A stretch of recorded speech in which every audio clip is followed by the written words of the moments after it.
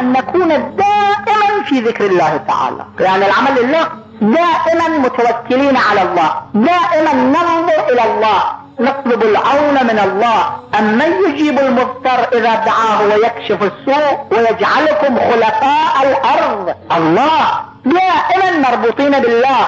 ومن يتق الله. يتق الله يخاف الله يعمل بأوامر الله يترك نواهي الله.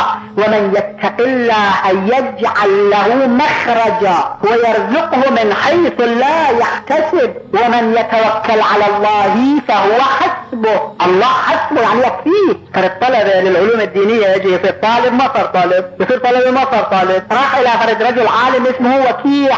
قال يا وكيع لماذا يعني كل ما أدرس أصير عالم نظمه في بيت؟ شكوت إلى وكيع سوء حفظي فأرشدني إلى ترك المعاصي. وعلله بأن العلم فضل وفضل الله لا يؤتى لعاصي. وهل يعطي الله للخمارين والزمارين والقمارين؟